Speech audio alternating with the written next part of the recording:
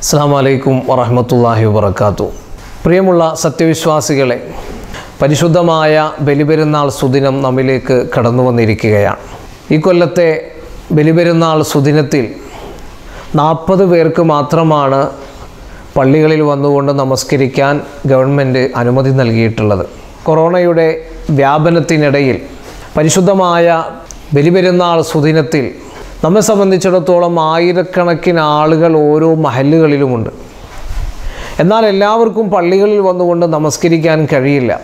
ഓരോ വീടുകളിലും നമസ്കാരം അറിയുന്ന ആളുകൾ തന്നെ പെരുന്നാൾ നമസ്കാരം വലിയ ഒരു പ്രയാസമുള്ള സംഗതിയാണെന്ന് കരുതിയിട്ട് നമസ്കരിക്കാതെ മാറി നിൽക്കുകയാണ്. പെരുന്നാൾ നമസ്കാരം എന്ന് പറയുന്നത് ശക്തമായ സുന്നത്തുള്ള ഒരു നമസ്കാരമാണ്. അതും ജമാഅത്തായി നിർവഹിക്കൽ സുന്നത്തുള്ള ഒരു നമസ്കാരമാണ്. ഓരോ വീട്ടിലും ജമാഅത്തായി നമസ്കരിക്കാനുള്ള ആളുകളുണ്ട്. പക്ഷേ പലർക്കും അറിയില്ല എങ്ങനെയാണ് പെരുന്നാൾ നമസ്കരിക്കുക എന്നുള്ളത്. അല്ലെങ്കിൽ അത് വലിയൊരു പ്രയാസമുള്ള കാര്യമാണെന്ന് പലരും മനസ്സിലാക്കി വച്ചിരിക്കുകയാണ്. എന്നാൽ പെരുന്നാൾ നമസ്കാരം വളരെ എളുപ്പമാണ് നമസ്കരിക്കാൻ. സാധാരണ നമ്മൾ നിസ്കാരത്തിന് നെയ്യത്ത് വെക്കുന്നത് പോലെ തന്നെ ബലിപെരുന്നാൾ നമസ്കാരം രണ്ടറക്കാലത്ത് അള്ളാഹു താലാക്ക് വേണ്ടി കിബിലക്ക് നേരെ തിരിഞ്ഞ് ഞാൻ നമസ്കരിക്കുന്നു എന്ന് നിയത്ത് വെക്കുക. അള്ളാഹു അക്ബർ എന്നിങ്ങനെ ചൊല്ലിയിട്ട് കൈകെട്ടുക അത് കഴിഞ്ഞ് ഉടനെ സാധാരണ നമ്മൾ നമസ്കാരത്തിൽ ഓതാറുള്ള ദുവാ ഉൽ ഇഫ്തിത്താഹ് വജ്ജഹത്തു വജ്ജഹത്തു വജിഹി അലില്ലതി ഫത്തർ സമാവാത്തി വല്ലർല ഹനീഫ മുസ്ലിമ ഒമാന മിനൽ മുഷ്രിക്കീൻ ഇന്ന സ്വലാത്തി വനുസുക്കി ഒമഹയായ മാത്ത് ഇല്ലാഹി റബ്ബിൽ ആലമീൻ. ലാ ശരീക്കൽ ലഹു ബിദാലിക്കു മിർത്തുവാന മിനൽ മുസ്ലിമീൻ. എന്നുള്ള ആ ദിക്കറ് ചൊല്ലുക. ദുവാഉൽ ഇഫ്തിത്താഹ് എന്നാണ് അതിന്റെ പേര്. തുടക്കത്തിലുള്ള ദുവാൾ അതിനുശേഷം സുന്നത്തായ തക്ബീർ ചെല്ലുക. എങ്ങനെയാണ് തക്ബീർ ചെല്ലേണ്ടത്? നേരത്തെ ചെല്ലിയതുപോലെ തന്നെ ഇങ്ങനെ നമ്മൾ കൈ കെട്ടിയിരിക്കുന്ന ആൾ ആ കൈ അഴിച്ചുകൊണ്ട് അള്ളാഹു അക്ബർ എന്നിങ്ങനെ ചൊല്ലിയിട്ട് കൈ കെട്ടുക. എന്നിട്ട് സുബഹാനല്ലാഹി അലഹമുല്ലാഹി വലാ ഇലാഹ ഇല്ലാഹു അള്ളാഹു അക്ബർ എന്നുള്ള ദിക്കർ ചെല്ലുക. എന്നിട്ട് വീണ്ടും എന്ത് ചെയ്യുക? കൈ അയച്ചുകൊണ്ട് തക്ബീർ ചെല്ലുക. അള്ളാഹു അക്ബർ. അതിനുശേഷം സുബഹാനല്ലാഹി അലഹമുല്ലാഹി വലാ ഇലാഹ ഇല്ലല്ലാഹു അള്ളാഹു അക്ബർ. അങ്ങനെ വീണ്ടും അഴിച്ച് അങ്ങനെ ഏഴ് പ്രാവശ്യം തക്ബീർ ചെല്ലുക. അതിന്റെയൊക്കെ ഇടയിൽ സുബഹാനല്ലാഹി അലഹമുല്ലാ വലാ ഇലാഹ ഇല്ലല്ലാഹു അള്ളാഹു അക്ബർ എന്നുള്ള ദിക്ർ ചെല്ലുക. അതിനുശേഷം ഏഴാമത്തെ പ്രാവശ്യം തക്ബീർ ചൊല്ലി ഈ കൈകെട്ടി ദിക്ർ ചൊല്ലിക്കഴിഞ്ഞാൽ പിന്നെ ഫാത്തിഹ സൂറത്ത് ഓതുക. ഫാത്തിഹ സൂറത്ത് ഓതിക്കഴിഞ്ഞാൽ സുന്നത്തായിട്ടുള്ള സാധാരണ നമുക്കൊക്കെ അറിയുന്ന ഒരു സൂറത്താണ് സബ്യഹിസ്മ റബിക്കൽ അയല എന്ന് തുടങ്ങുന്ന സൂറത്ത്. ഇനി ഒരാൾക്കത് അറിയില്ല. അയാൾക്ക് ചെറിയ ഏതെങ്കിലും സൂറത്ത് അറിയുള്ളൂങ്കിൽ അത് ഊതിയാൽ മതി. എന്നാലും കുഴപ്പമില്ല. ഇതൊക്കെ സുന്നത്താണ്. സബി ഹിസ്ബ റബിക്കൽ അയല സൂറത്ത് ഓതിക്കഴിഞ്ഞതിന് ശേഷം സാധാരണ നമ്മൾ നിസ്കരിക്കുന്നത് പോലെ തന്നെ എന്ത് ചെയ്യുക? റുക്കൂഴിലേക്ക് പോവുക. അള്ളാഹു അക്ബർ എന്ന് ചൊല്ലിയിട്ട് റുക്കൂഴിലേക്ക് പോവുക. അങ്ങനെ റുക്കൂഴിൽ സാധാരണ നമ്മൾ ചൊല്ലുന്ന തസ്ബി സുബാൻ റബി അള്ളീം ബിഹംദി എന്ന് മൂന്ന് പ്രാവശ്യം ചെല്ലുക. അതിനുശേഷം സെമി അള്ളാഹു ലിമൻ ഹമിദ. സാധാരണ നമ്മൾ ചെല്ലുന്ന അതേപോലെ തന്നെ സമി അള്ളാഹുലിമൻ ഹമിദ റബനാലക്കൽ ഹംദു എന്ന് തുടങ്ങുന്ന ദിക്ർ ചൊല്ലിയിട്ട് നേരെ സുജൂദിലേക്ക് പോവുക.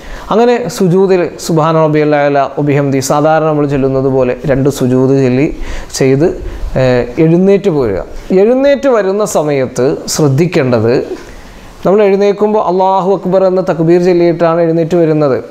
അതിനുശേഷം അള്ളാഹു അക്ബർ എന്ന് വീണ്ടും പറഞ്ഞിട്ട് കൈകെട്ടുക. എഴുന്നേറ്റ് ഇങ്ങനെ വരുമ്പോൾ അള്ളാഹു അക്ബർ എന്ന് പറഞ്ഞാൽ നമ്മൾ കൈ കെട്ടിട്ട കൈ കൈ കൈ കെട്ടും.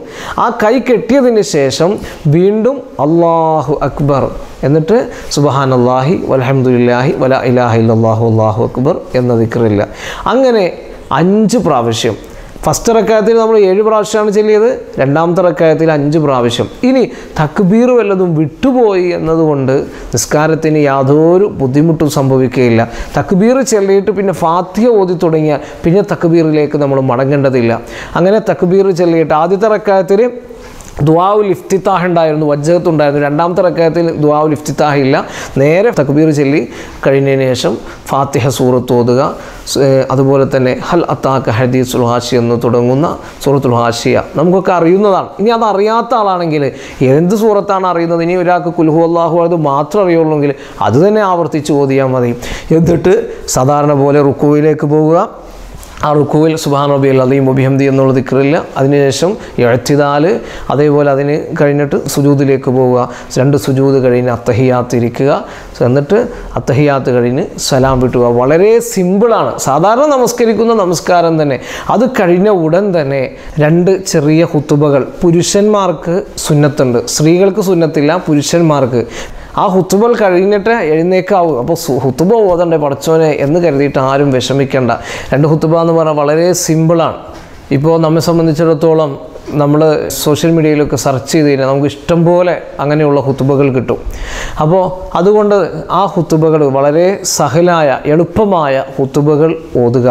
അതുപോലെ സ്ത്രീകളെ സംബന്ധിച്ചിടത്തോളം പലർക്കും സംശയം ഉണ്ടാവും ഞങ്ങൾക്ക് ജമാഅത്തായി നമസ്കരിക്കാൻ പറ്റുമോ എന്നുള്ളതിനെ സംബന്ധിച്ച്. സാധാരണ നമ്മൾ വീടുകളിൽ മറ്റുള്ള നമസ്കാരങ്ങൾ ജമാഅത്തായി നിർവഹിക്കുന്നത് പോലെ തന്നെ നമുക്ക് നിസ് നിസ്കരിക്കാവുന്ന ഒരു കാര്യമാണ് പെരുന്നാൾ നിസ്കാരം. ജമാഅത്ത് സുന്നത്തുള്ള നമസ്കാരമാണ്. ഇപ്പോൾ വീട്ടിൽ ഭർത്താക്കന്മാർ തമ്മിൽ അവർക്ക് ഒരുമിച്ച് സ്കരിക്കാം അതുപോലെ തന്നെ സഹോദരങ്ങൾ തമ്മിൽ മക്കൾ ഉമ്മ ഇവരൊക്കെ ഒരുമിച്ച് നമസ്കരിക്കാവുന്നതാണ്.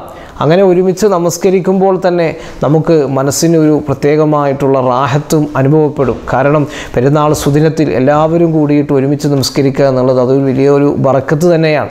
അന്യപുരുഷന്മാരില്ല എങ്കിൽ വീട്ടിലുള്ള ആളുകൾ എല്ലാവരും ഒരുമിച്ച് കൂടിയിട്ട് നമസ്കരിക്കുക. അതുപോലെ തന്നെ അതിനുശേഷം നമ്മിൽ നിന്നുകൊണ്ട് മരണപ്പെട്ടു പോയ നമ്മുടെ മാതാപിതാക്കൾ ബന്ധുമിത്രാദികൾ അവരേക്ക് ഓർത്ത് അവർക്ക് വേണ്ടിയിട്ട് പ്രത്യേകമായിട്ട് ദുവാ ചെയ്യുക. കഴിയുന്ന ആളുകൾ അവരുടെ കബറുകളൊക്കെ പോയിട്ട് അവർക്ക് വേണ്ടിയിട്ട് ദുവാ നടത്തുക. അതുപോലെ പെരുന്നാളിന്റെ അന്ന് കുളിച്ച് നല്ല വസ്ത്രങ്ങൾ ധരിക്കുക.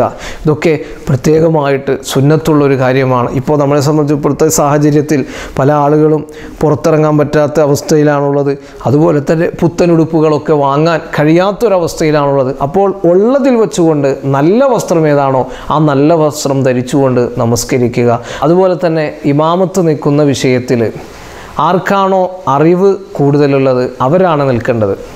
അതുപോലെ സ്ത്രീകളും പുരുഷന്മാരും തമ്മിൽ നമസ്കരിക്കുമ്പോൾ ഇപ്പോൾ വീട്ടിൽ ഉമ്മായും മക്കളും തമ്മിൽ നമസ്കരിക്കുമ്പോൾ ഉമ്മയല്ല ഇമാമത്ത് നിൽക്കേണ്ടത്. പുരുഷന്മാരാണ് ഇമാമത്ത് നിൽക്കേണ്ടത്.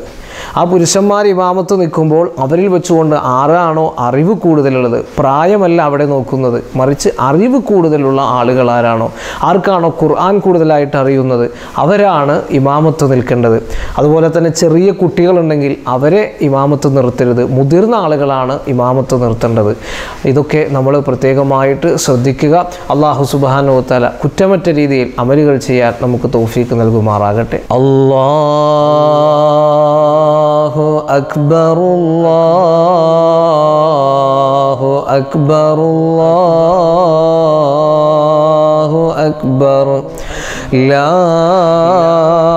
ഇലാഹ ഇല്ലല്ലാഹു അല്ലാഹു അക്ബർ. അല്ലാഹു അക്ബർ വലില്ലാഹിൽ ഹംദ് അല്ലാഹു അക്ബർ അല്ലാഹു അക്ബർ അല്ലാഹു അക്ബർ ലാ ഇലാഹ ഇല്ലല്ലാഹു അല്ലാഹു അക്ബർ الله أكبر ولله الحمد. الله أكبر الله أكبر الله أكبر.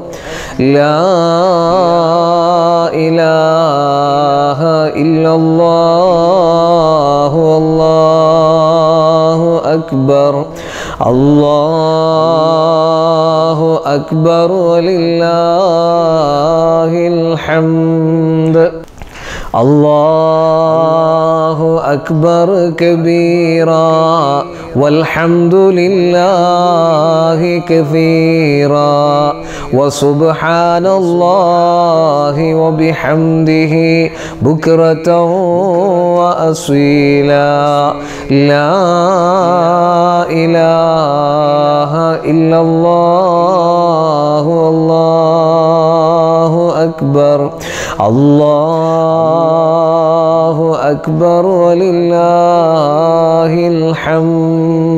അള്ളാഹു സുബ്ഹാനഹു വതആല നമ്മുടെ എല്ലാ സൽക്കർമ്മങ്ങളും അള്ളാഹു കബൂൽ ചെയ്യുമാറാകട്ടെ. അസ്സാം വലൈക്കും വാഹമത്തല്ലാ വാബർക്കാത്തു